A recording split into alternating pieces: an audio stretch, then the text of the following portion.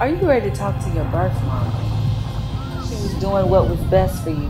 She did the best she could. The best was leaving me, just picking up and just leaving me with somebody else. That was the best that she could do. You gotta forgive them, people.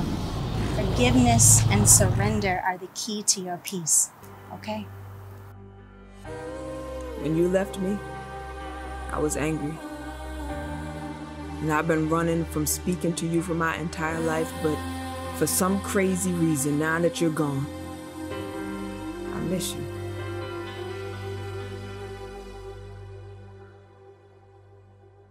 I forgive you. Even if you don't deserve it.